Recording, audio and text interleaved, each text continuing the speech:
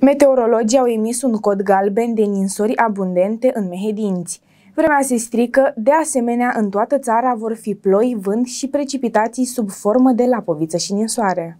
Iarna și intră în drepturi în Mehedinți de astăzi, de la ora 12 până mâine dimineață la ora 4, meteorologii au emis cod galben de ninsori însemnate cantitativ la nivelul județului. Inspectoratul pentru situații de urgență recomandă cetățenilor să evite pornirea la drum. Începând de astăzi de la ora 12 și până mâine dimineață la ora 4, județul Mehedinți se află sub incidența atenționării meteorologice cod galben de ninsori însemnate cantitativ.